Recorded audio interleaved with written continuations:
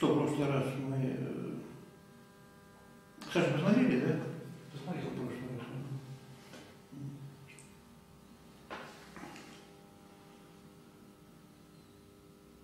Значит, в первом состоянии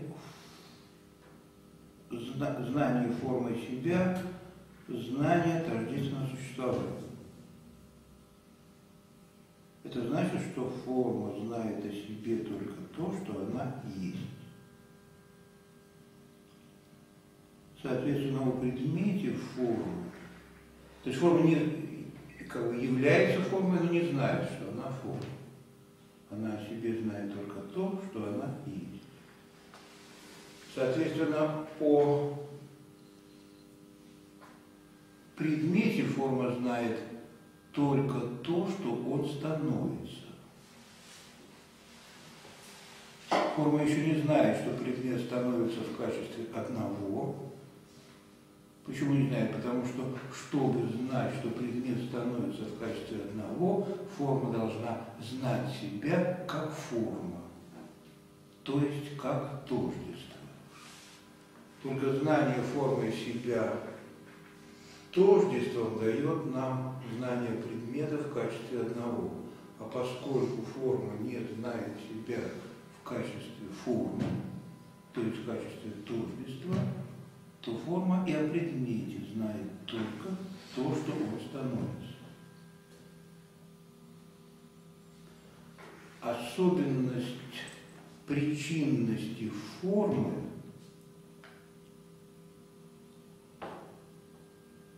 форма определяет предмет, да, исходная ситуация. Форма определяет предмет, потому что она, она тождественна себе, качестве тождественной себе она, собственно, является причиной. Так вот, особенность такого причинения заключается в том, этот шум, наверное, да? Ну, давайте его будем. Куда не будет света. Не будет света, да. Ну каток. А, ну, ну да. Нет, если света достаточно, то... Нормально, да.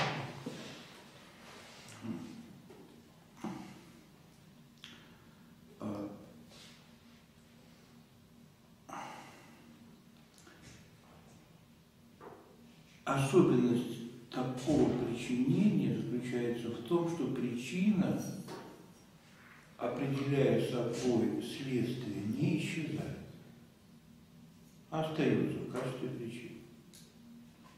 В этом самом деле особенность, потому что обычно сначала причина, потом следствие. Здесь, когда форма определяет предмет, форма определяет предмет, предмет становится в форме, но форма как причина остается. Забыл. Поэтому и, и, в первом, и в первом состоянии мы имеем а, а, именно эта форма существует, предмет становится. И это не, что я хочу сказать, это не две стороны одного состояния. Гегеля форма и предмет – это две стороны одного состояния. Этот и этот. Есть некая достоверность, первая. Достоверность, когда форма обнаруживает предмет. Эта достоверность, а, а, видимо, простое и есть у Гегеля. И эта простая достоверность, простое и есть, распадается на этот и это, то есть на чувственную форму и на предмет. Знать их одновременно нельзя. Одновременно у Гегеля, видимо, представляют собой одно неразличенное состояние, если одновременно. Ко- Которое это состояние, первоначальное простое есть у Гегеля, распадается на два состояния, которые можно познавать лишь, а, а, как это сказать, Раздельно. раздельно, да, по очереди. Когда я знаю этот, я не знаю это. Когда я знаю достоверно это, недостоверно этот. М, э, То есть получается две стороны одной первоначальной достоверности. Здесь иначе. У нас иначе. У нас это одно состояние. Состояние познания формы себя, как условие предмета. Данное первоначально выражается в том, что форма а, существует, а предмет становится. О предмете мы больше ничего не можем сказать, кроме того, что возникает. Возникает, появляется, становится. А форма есть.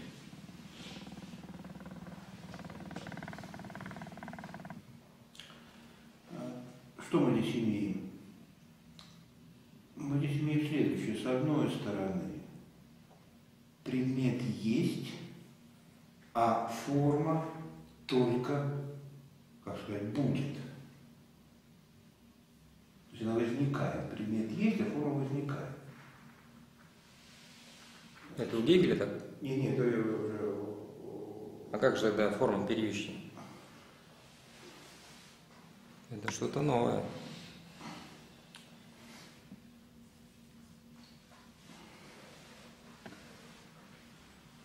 Форма есть, а предмет становится, поэтому форма первична.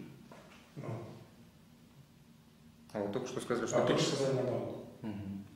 Да? Предмет есть, и форма, форма возникает. А, нет, ну это... это- Оговорка.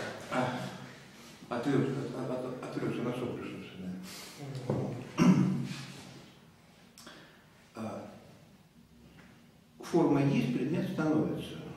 У этого первоначального состояния есть как бы две стороны, которые проистекают из самой сути становления. Поскольку форма становится, то она, с одной стороны, только еще будет, а не есть. Так форма все-таки становится или предмет? Фу ты, ёлка-палка. Поскольку предмет становится, да, еще и заел. Поскольку предмет становится, то он, с одной стороны, только будет, а не есть. Он не есть, а он становится. Поэтому форма предшествует предмету. Сначала форма, форма уже есть, а предмета еще нет. Заметьте, что это одна сторона первоначального состояния мысли. То есть, как мы говорили, мы это первоначальное состояние мысли, а в нем обнаруживаем две стороны, как в повращательном движении центростремительную и центропежную силу. Две абстракции. Можно называть абстракцией. Потому что само это состояние формы уже есть, а предмета еще нет, предполагает пустую форму, что нелепо. Пустая форма может мыслить как форма только в качестве абстракции. Действительное состояние мысли заключается в том, что форма есть, и в этой форме становится предмет. Только абстракция от этого первоначального действительного состояния, его моментом или стороной, является ситуация, когда форма уже есть, а предмета еще нет.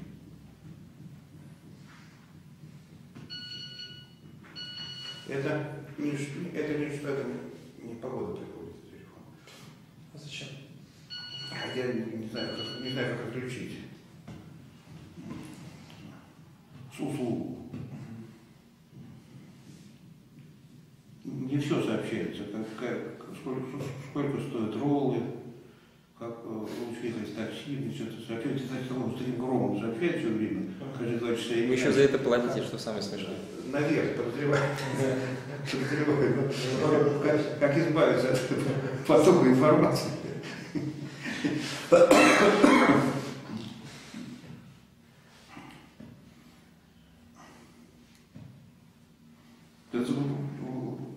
Чем-то занят все время, все сидит, смотришь так, роллы теперь стоит.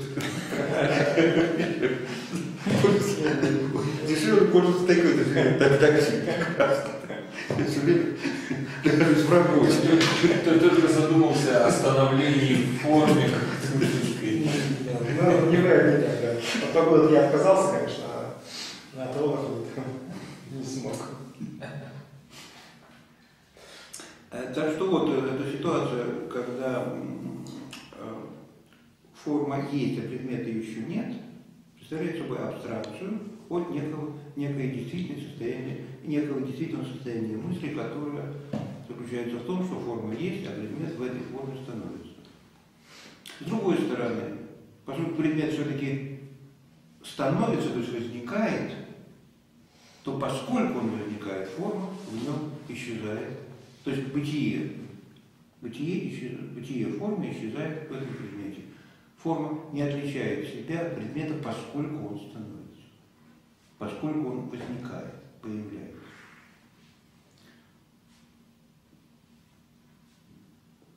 Это же построение, я, видите, построил со стороны предмета, становящегося. Понятие становления, с одной стороны, предполагает, что предмета еще нет, другой стороны, предполагает, что он становится, возникает. То есть это двойственность понятия становления предмета рождает это возможности двух абстракций и действительного состояния мысли. Можно, видимо, рассуждать из позиции формы. Потому что о форме мы сказали, что форма есть форма, но не знает себя как форма. Можно рассуждать так, поскольку форма является формой, то есть чем-то старшим и причиняющим, то она предшествует предмету. А поскольку форма не знает себя как форма, то она исчезает в этом становящемся предмете. Получается, как мы составляем, не, не очень продумал с точки метода этого движения, но э, может быть, получается, что можно рассуждать со стороны становления предмета, можно со стороны ставшести формы. Можно выигрывать ситуацию становления предмета в форме, а можно выигрывать ситуацию, что форма является чем-то, но не знает этого. Еще раз, поскольку форма есть форма, является формой, она предшествует предмету. В том смысле, что она есть, уже, а предмета еще нет. Но поскольку форма не знает себя как форма, она предмет себя утрачивает. Себе. А, Получается, что некое действительное состояние мысли, которое назовем а, есть,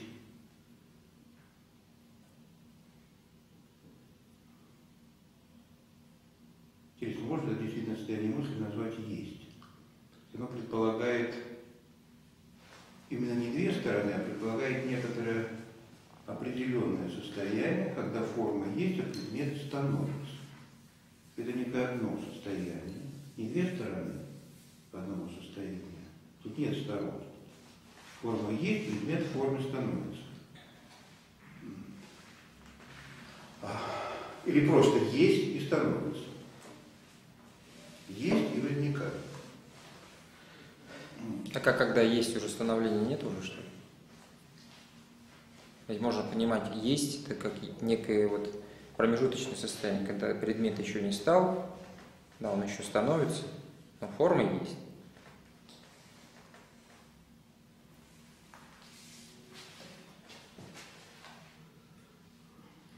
Или есть это уже предмет стал, форма есть, все есть. Нет, предмет не стал, предмет становится, он никогда не станет. Ему это не грозит предмет, он всегда будет становиться, так или иначе. А форма есть, всегда, всегда будет в этом состоянии актуальности. И первоначально существует простое есть, или может быть все-таки я есть, или я. И становление. Так а зачем предмет-то нужен? Вот меня всегда поражает. Вот есть форма, она уже ставшая и готовая форма. Зачем в форме нужен предмет?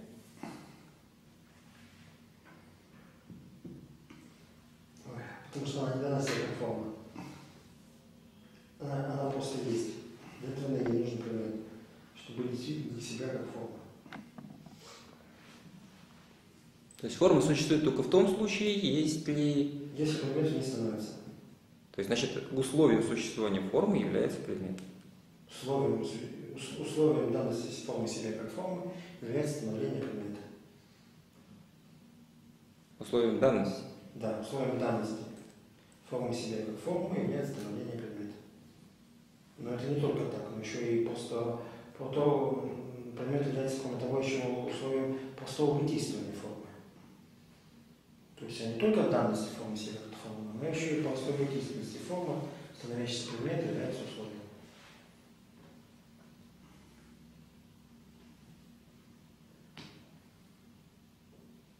То есть предмет не, не ничтожен.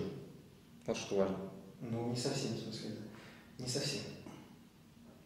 А мы говорим о первичности формы, вот что вот удивительно. Тут какое-то оно должно быть равноправие. Ну, первичность. Очень интересно здесь, знаешь, что здесь первичность? Потому что э, бытие здесь и бытие формы. Быть формой. Вот в этом смысле первичность. Конечно, первичность. Бытие не есть те становления предмета. Бытие это быть, быть это значит быть формой.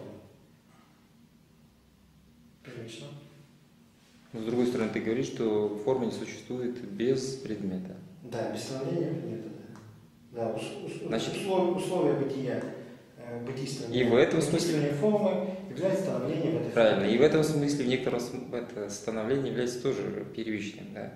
В этом Это смысле. является некоторым условием, что она, ну, я не знаю, как оно, оно не является не внешним, не предварительным условием, а вот условием осуществления бытийствования. Условием осуществления бытийствования, осуществления данности формы самой себе формы является становлением этой формы предмета. Оно о чем, чем разговор? Разговор нормальный.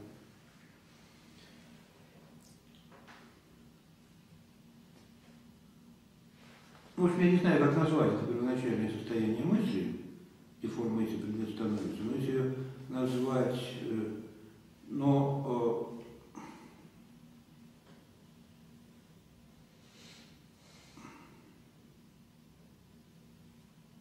Так вот тут да, тоже- да, да, я хочу сказать.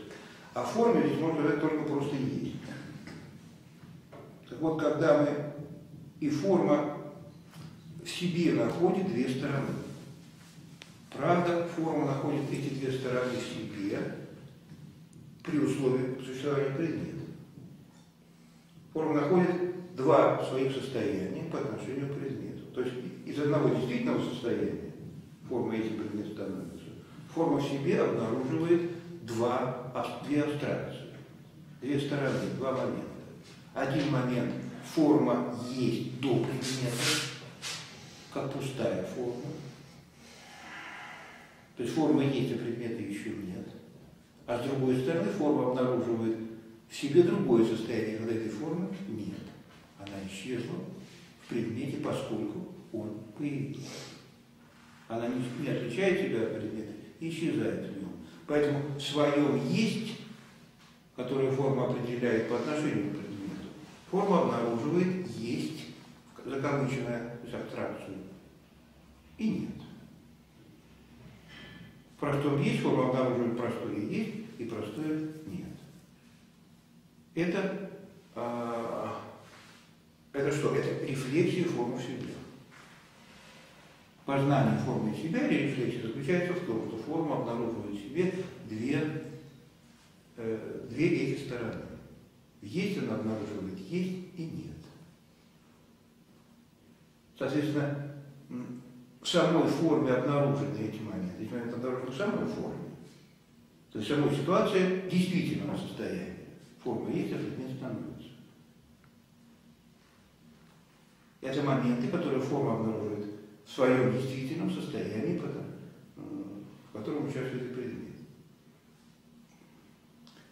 Обнаруживая эти два момента, она на самом деле форма сталкивается с ситуацией, с какой ситуацией? Один момент, выделенный в качестве момента мыслим, то есть форма есть до предмета, вот этот момент.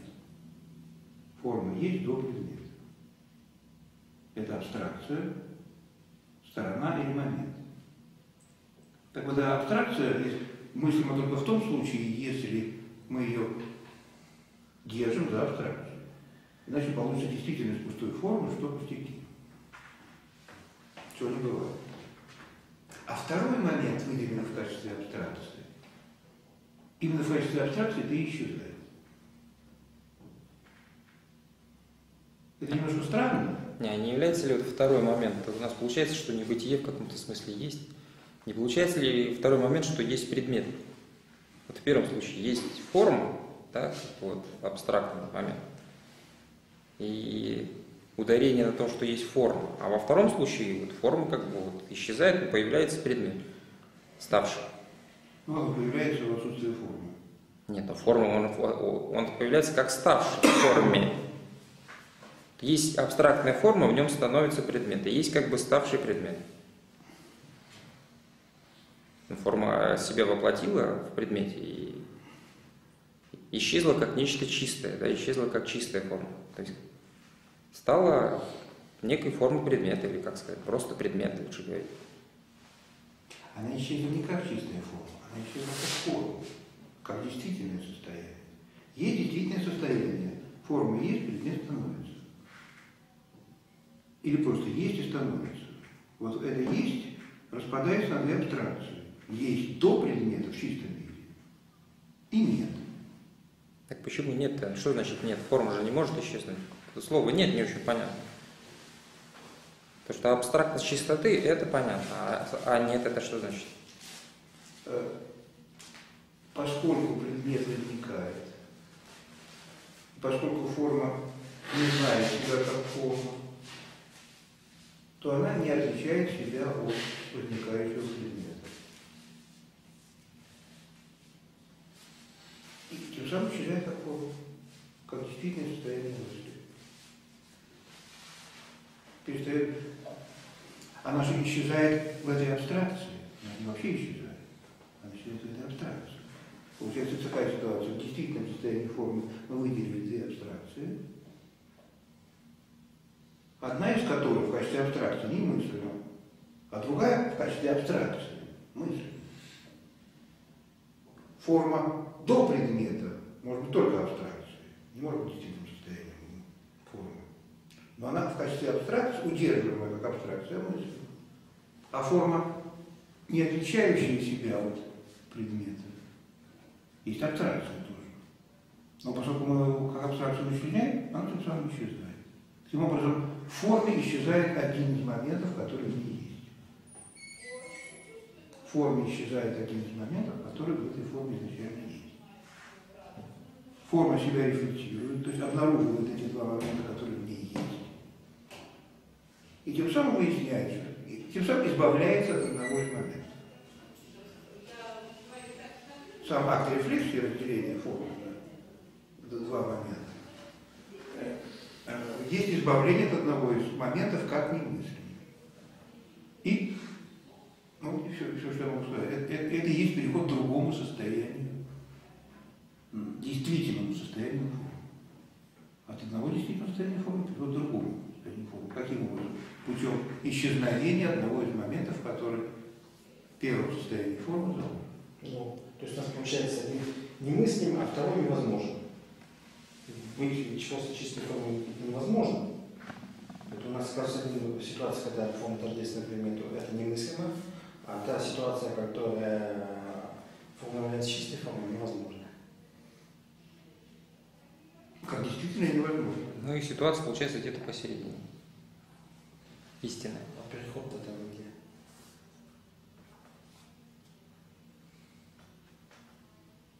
Из двух состояний, из двух абстракций, которые есть в форме, из двух сторон, которые есть в форме, остается одна, и это есть переход. Да, вот так. Да. И все. И все. А, а, а как она может это удерживаться? Кто? Нее же результаты. нее- там же у этого перехода должен быть какой-то результат. Этот результат вы- выглядит только одним способов, что форма является чистой формой. Что невозможно. То есть мысль но невозможно. Вот это, это является результатом? Нет. Ну, конечно, нет, да. А что тогда? А Поскольку из действительного состояния формы исчезает момент а,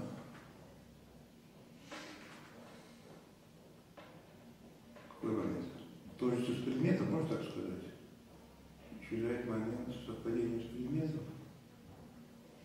Как называется момент? Воплощенности.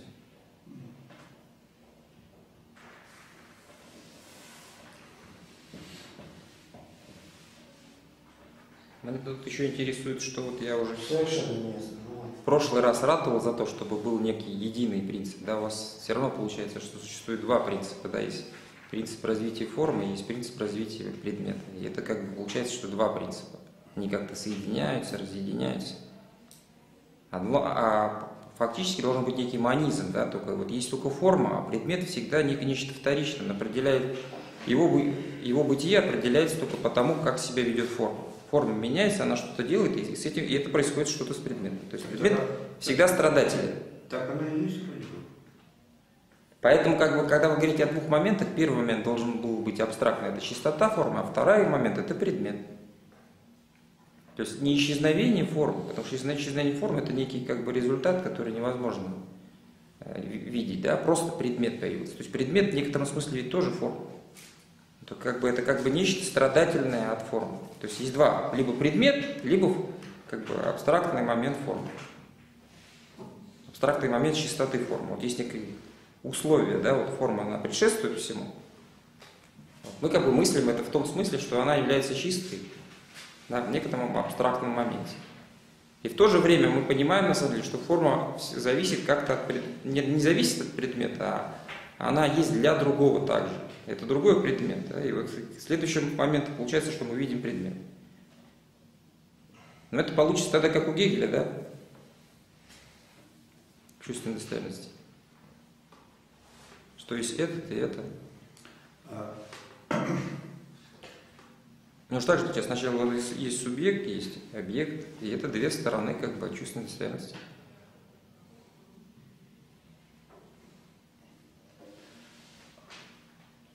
В каком-то смысле можно сказать и так, что есть чистая форма, одна абстракция является чистой формой, а другая абстракция является сам появившийся предмет.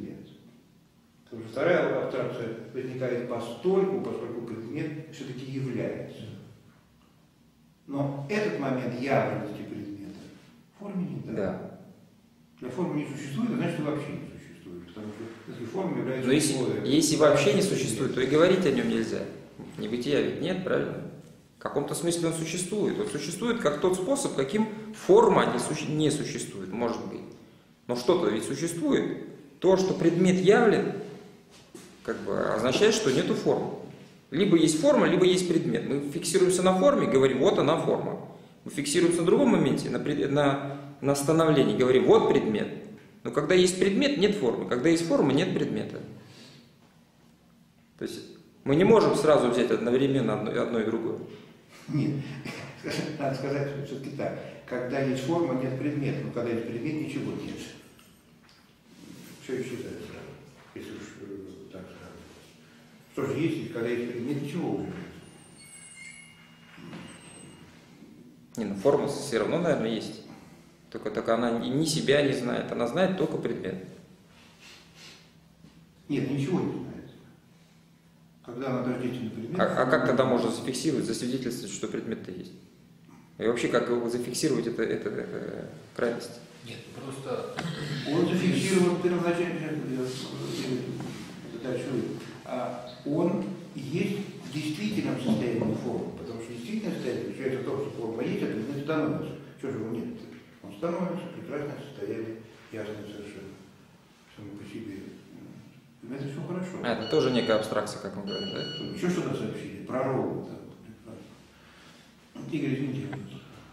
Да. Вот, я же хотел сказать именно, что все происходит, э, движение происходит из действительного состояния.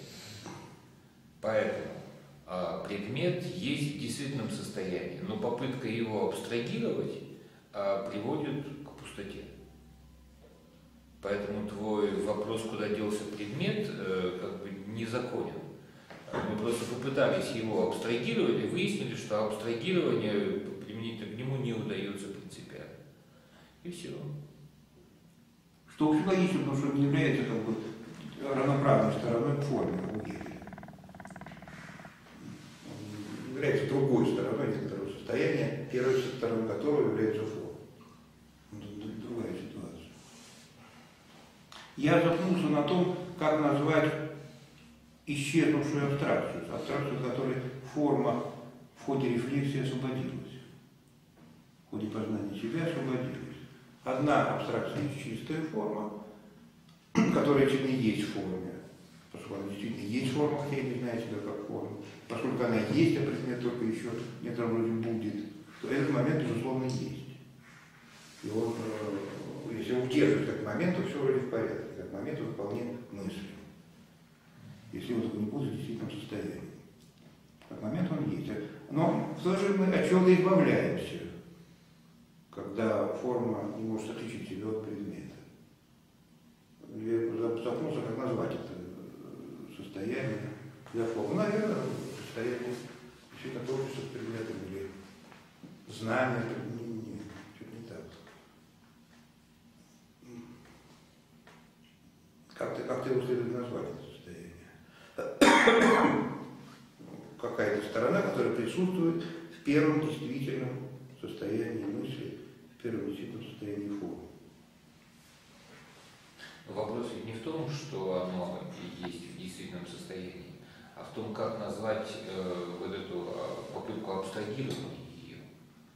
Вопрос в этом ведь? Нет, э, попытка абстрагирования понятна. В предмете есть момент, что он все-таки возникает, и поскольку он возникает, форма в нем исчезает. Описание самой абстракции понятно. А вот как назвать просто этот момент, который, эту абстракцию, которую мы там обнаружили? Ну просто как, как назвать это, э, эту абстракцию, какое дать ей имя? Да. Только в этом. А зачем, собственно говоря? Она что, она будет как-то иметь значение для движения? Ну, я не знаю. Ну ладно, хорошо, может быть, это действительно не, э, не так важно. Итак, мы имеем действительное состояние, в котором остается действительное состояние. Форма есть, предмет становится, или просто есть и, стан- и возникает. И в нем остается только одна сторона, это чистота формы. А, В результате а, исчезновения другой стороны мы получаем что? Мы получаем понимание формы себя как формы, как причины. Ведь абстракция, которая осталась, заключается в том, что форма есть, а предмета еще нет. То есть абстрактная чистота причинности. Абстрактная чистота причинности. Если действительно существовала пустая, чистая форма, то она была бы такой в нормальном смысле причиной содержания. Вот она есть, предмета еще нет, и вот предмет. То есть второе состояние состоит в том, что у нас форма начинает мыслиться как подразумеваемая причина Становящаяся. действительности. Да, да, да. М. Когда остается только одна абстрактная, абстрактная причинность, форма получает свою действительную причинность. Не в том абстрактном смысле, что форма есть, а, а предмета еще нет, а в том что форма есть, сознает себя причиной становящегося предмета. Сознает себя формой, становящегося содержанием. Сознает, сознает- со- сознает себя актуальностью при потенциальном предмете при предмете, который возможен. Напомню, все эти три слова значит, зна- зна- зна- зна- значит, значит одно и то же. Быть причиной, быть формой и быть э, актуальностью. Форма переходит от, состо- от знания собственного бытия к знанию собственной причинности. От знания о себе, что есть, к знанию того, что причина, то есть актуальность или форма. Поскольку форма переходит к знанию о себе или знанию себя как причины или тождества, то предмет уже не просто становится. До сих пор мы играли просто с становлением. Говорили, становление заключает в себе, с одной стороны, то, что еще ничего нет, а с другой стороны, что все уже, а, глядишь, появилось. Вот. Нам было достаточно становления, чтобы, я думаю так, по крайней мере, достаточно становления, больше ничего не надо знать о содержании, чтобы разыграть вот эту вот карту. С тем, что форма предшествует этому содержанию или исчезает. Чтобы разыграть эту абстракцию, ничего не надо знать о содержании, думаю я, кроме того, что оно становится. То есть тем самым мы доказали, что форма, точнее форма себе доказала, что она необходимое условие, да? Да. Существования предмета. Да, не просто есть. А необходимые условия? Но только мы недавно обсуждали, что и предмет есть необходимые условия формы. Тоже это обсуждали, вот Игорь тут Ну а что тут э, с того? Да, следствие является обязательным условием существования причины. Если нет следствия, то нет причины. Это как раз простая диалектика. Даже Нет. простого причинения. Здесь можно возразить, что, может, причинно-следственная категория не подходит для описания форм. Следственное э, рассуждение просто проще. Ну, даже для нее верно, что если одно причина другого, не значит, что э, другое не нужно. Просто причина обычно понимается как? Если форма не причиняет, ничего нет. То есть, если причины нет, нет и следствия. А как отношение формы и предмета, оно какое-то там более сложное.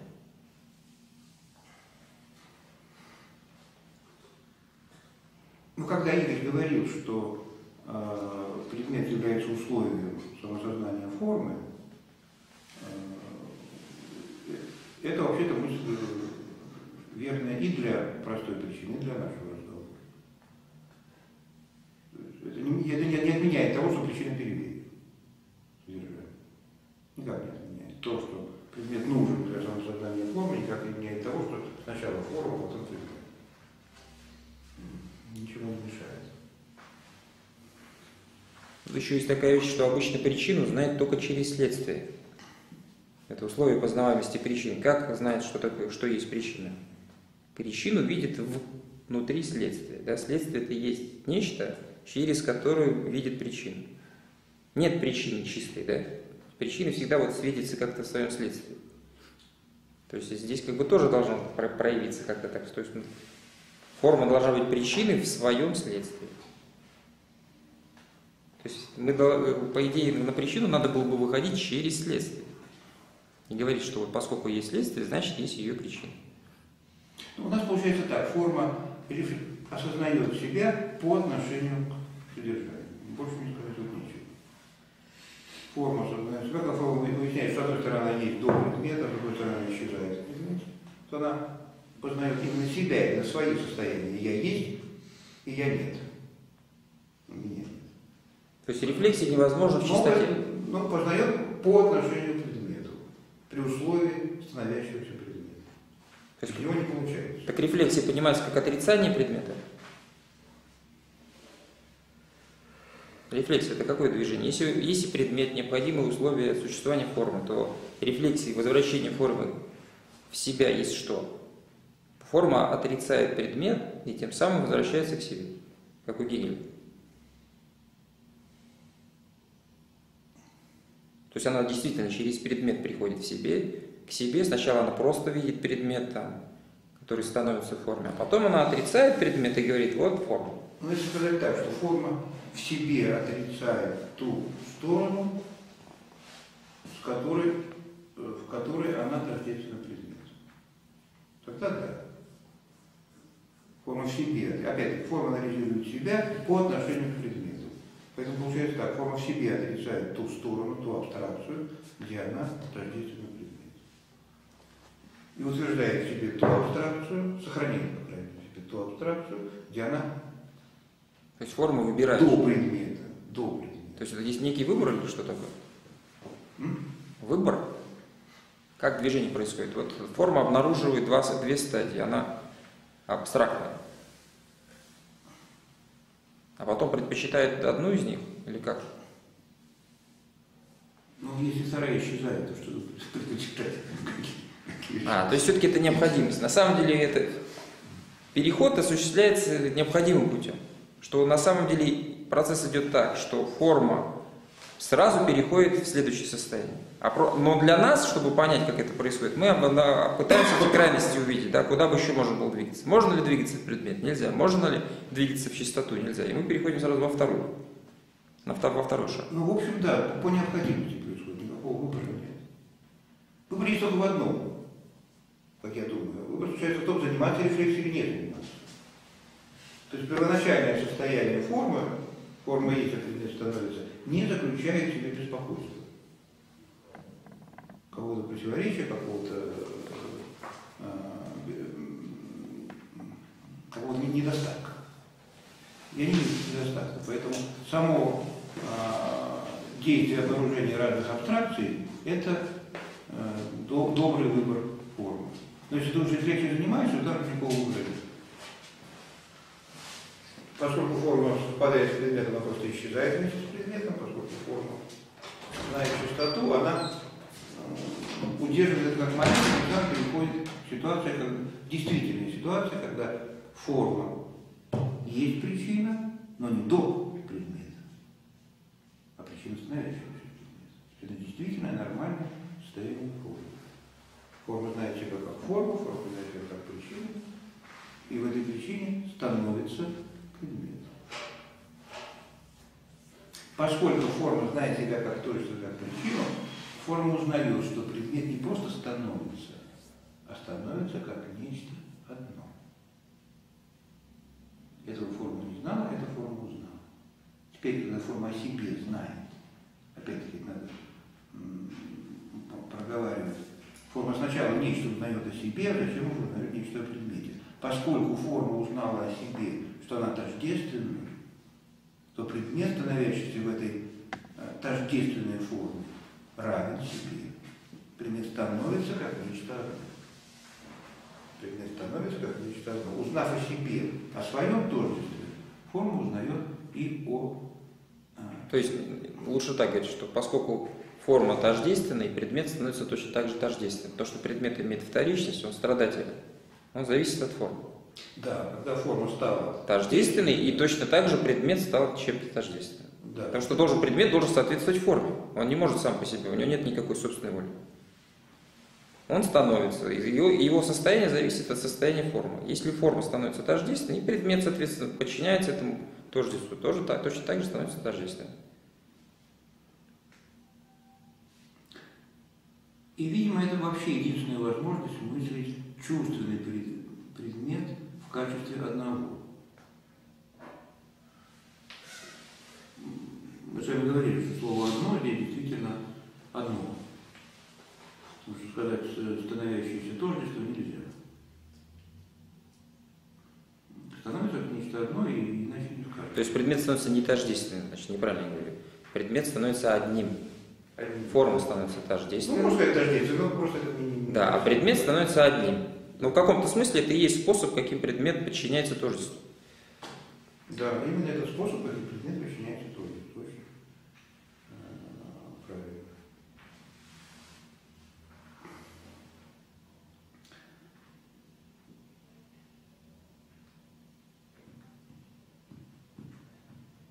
А можно еще раз про невозможность э, второго момента как абстракции, формы, исчезающей в предмете?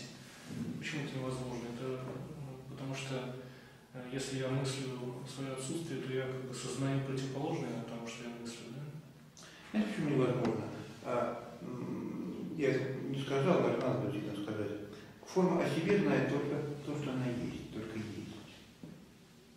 Поэтому, если становление предмета взять со стороны бытия, и становление это ничто, то с одной стороны это еще то, что будет, как бы, а с другой стороны это вовсе не ничто. Так вот если взять а, становление со стороны бытия, то форма не может отличить знание о себе и знание о предмете. Потому что о себе, о предмете, она с этой стороны знает только простое и есть. Это забыл. Надо, сказать. О себе знает только- только простое и есть, но и о предмете, взять со стороны бытия, она знает то же самое. Поэтому не отличает себя от предмета и, э, исчезает.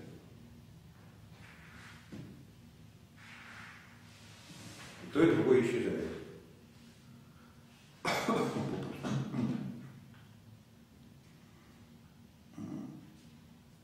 Ответил? Еще что-то?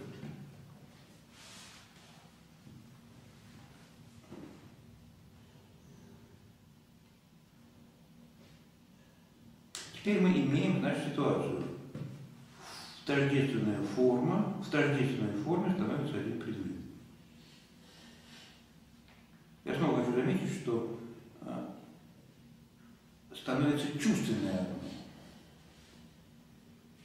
Для Фалеса и это было непреодолимо, потому что у них чувственное одно было, бралось не как становящееся. Потому что чувственное одно может быть, одно может быть чувственным при условии границы. А поскольку оно одно, границы нет. А поскольку границы нет, то оно не чувственное. И Фарис Алхиманов, э, собственно, на этом закончили. То ли чувственное, то ли не чувственное. Раз одно, какая же граница? Раз нет границы, же чувственное? А становящееся одно всегда имеет границу. Ну, я чисто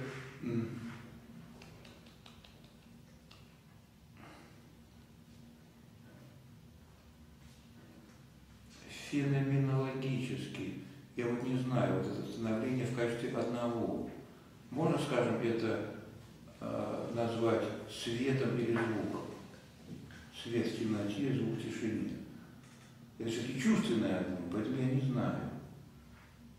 Э, Надо ли назвать это просто одним и умолкнуть? Становится как одно и все. Дальнейшее молчание. Или это можно как-то интерпретировать, как, скажем, свет в темноте или звук в тишине.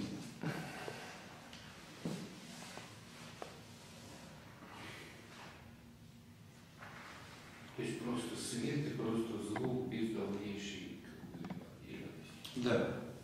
Ну, наверное, свет как для дальнейшей определенности есть просто одно. А, не, не знаю.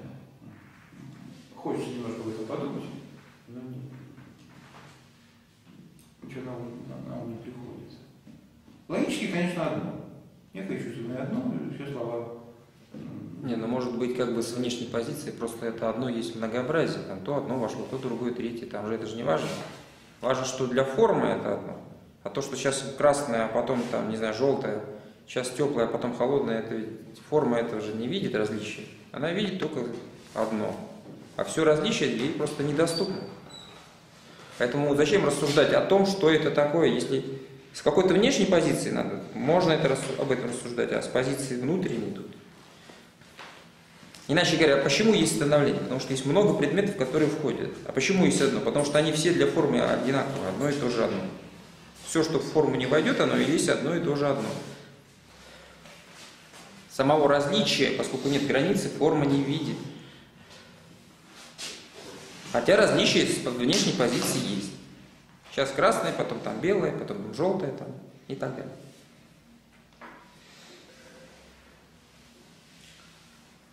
Тогда не возникает таких разговоров, что это такое может быть. Все что угодно. Может быть. А, Кроме того, действительно ничего не меняется. Сказать, что нельзя становится свет в темноте, или сказать, что становится не меняется. Нет, суть вопроса в чем состоит? Форма тождественная. И все остальное, все остальное должно подчиниться этому принципу. Но форма так устроена, она еще не может различия принять. И поэтому все остальное, что как бы этому принципу соответствует, это просто некое, некое одно и все. Ничего, ни, о нем просто ничего форма сказать больше не может. Это иное состояние бытия. Да? Вот есть состояние бытия, когда просто форма говорит «есть», а есть состояние бытия, говорит, когда есть одно. То есть уже добавилось некое, как бы, нечто добавлено, но все равно это полная абстракция. Есть одно, немногим отличается от состояния есть. Нет, становится, становится одно. Действительно, не, не, немногим отличается, но именно это, различие, различие. То есть не есть одно, а становится одно. Да. Сначала просто становится, а теперь выяснилось, что становится как одно. Сначала мы знали предмет только, только то, что он становится, и все. Теперь мы знаем предмете, что он становится в качестве одного. Когда форма узнала о себе, что она в предмете тем самым А когда предмет становился, мы же говорили, что это есть. Или со стороны формы, со стороны предмета это становление, со стороны формы это есть. Когда мы говорили о, пред- о первом состоянии предмета, то мы говорили, что он становится, и только одной из абстракций этого становления является есть. Это не действительное состояние предмета. Действительное состояние предмета – то, что он становится. Нет, а это, абстракцией его является то, что его еще нет, тогда как форма уже налицо. Или когда он есть, и форма в нем исчезает. Это две абстракции, очень простые, наивные. абстракция становления. А форма как там есть тогда? Не, не помимо этих абстракций, внутри вот этой реальности формы-то как есть. Предмет становится, понятно, а форма как? Мы говорили, что она просто есть. Вот есть форма, да, и как бы предмет подчиняется этому есть в том смысле, что он в нем становится. То есть, по, то есть предмета как бы нет. Форма есть, она стоит, а предмет, вот, все, что, все, что в этом есть, становится. Теперь вторая ситуация. Есть одно. Форма это что такое? Есть плюс одно. А что такое предмет? Предмет это вот все, что становится в этом одном. Форма, лучше говорить, что она тождественна, актуальна. Слово одно, давайте оставим за предметом. А, потому что другого не найти слова. А форма тождественна, или форма есть форма, или форма есть причина.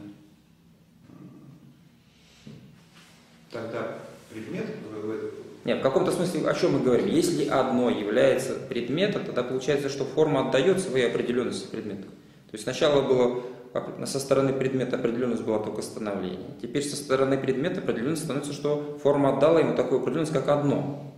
Благодаря тому, что форма стала тождественной. Когда форма была... не фор- отдала, задала. Задала. Задала. Да. Хорошо, задала. То есть, когда форма была простым «есть», определенность предмета состояла только в том, что он становится. Когда форма стала не просто «есть», а тождеством, определенность предмета стала одно. Да. Одно становящееся. Да, становящееся одно, хорошо. Так. То есть, такая логика. То есть, изме- форма изменяется, тем самым предмет подчиняется этому изменению. Да. В принципе, да.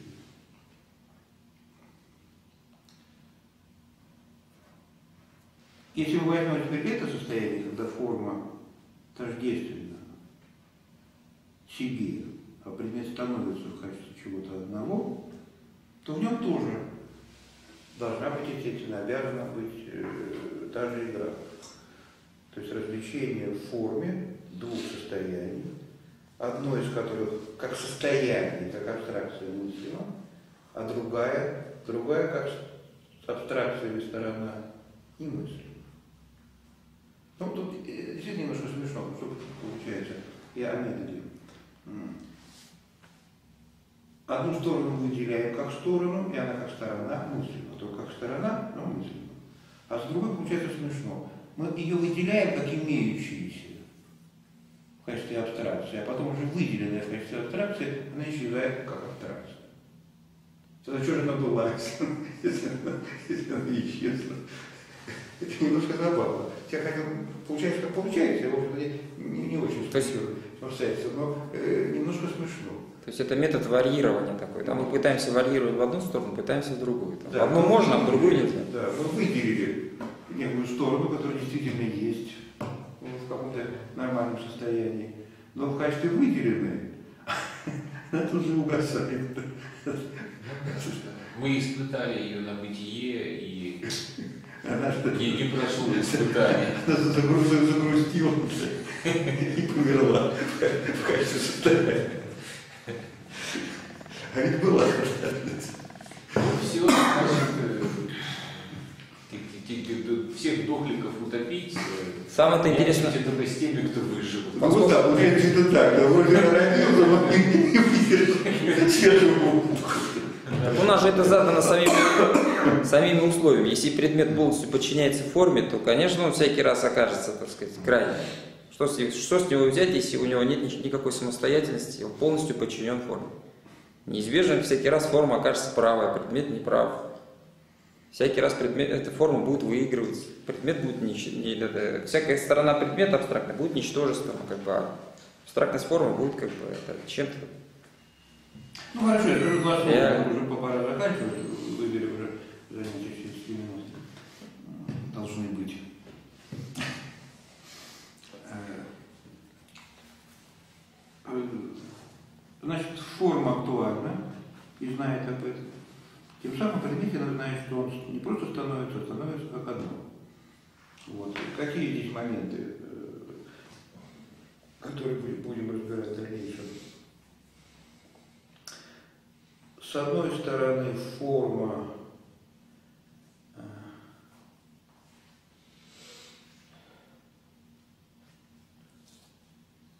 причиняет предмет, то есть делает его тождественным себе.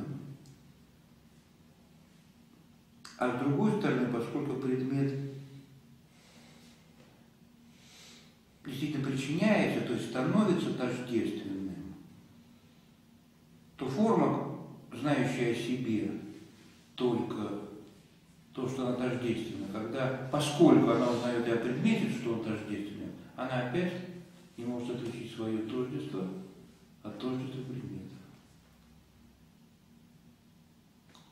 Значит, с одной стороны, есть акт причинения, воздействия.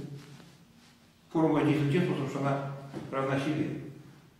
То есть надо помнить, форма воздействия активно причиняет том смысле, что она тождественна себе, и только в этом смысле. Никакого другой активности у формы нет, способа активности. А, форма причиняет предмет, но умирает в собственном результате. Умирает в собственном результате. Поскольку предмет становится тождественной, форма не в силах отличить свое тождество от тождества предмета. Форма, с одной стороны, есть причина, порождающая результат, но причина, которая исчезает в своем собственном результате. Поэтому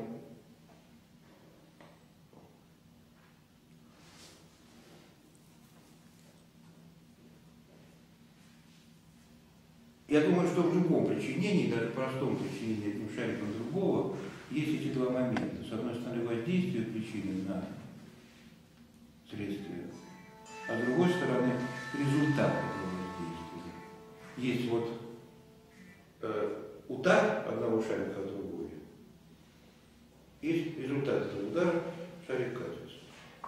То есть во всяком причинении есть два момента. Момент причинения и результат этого причинения. Момент воздействия и результат этого воздействия. Так и здесь. Есть момент воздействия, формы, которую можно, можно вычленить как абстракцию воздействия формы. То, что форма превращается в предмет в нечто одно. И есть результат этого воздействия.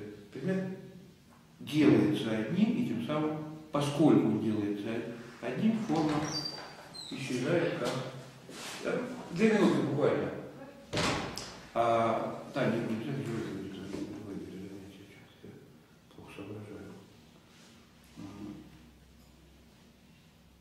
Форма исчезает в этом результате. Какой выход отсюда? Он заключается для формы в том, чтобы вновь и вновь воспроизводить себя как причину, не успокаиваясь в результате. Вновь и вновь воспроизводить себя как причину предмета, не зная о результате. Ну, это единственный способ удержать себя. Да, единственный способ удержать себя как причину.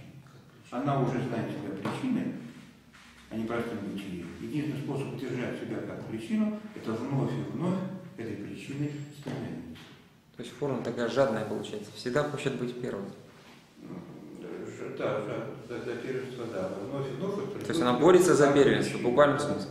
Да, То есть она бы могла бы как бы успокоиться, но она пред, предмет же причинила. И надо каждый раз доказывать, что вот она его причинила. То есть метод тоже. Мы убираем, поскольку в своем результате форма умирает, мы убираем этот результат, эту абстракцию, отбрасываем ее, она заскучала и померла. И остается только абстракция причинения. Абстракция причинения является абстракцией, если брать просто как факт причинения без результата. Но она дает нам новое действительное состояние, воспроизведение формы себя как причины предмета. Без какого бы то ни было угасания а, в результате, исчезновения в результате. Вновь, вновь и вновь. Это вот э, то, что мы называли вот-вот-вот. Все.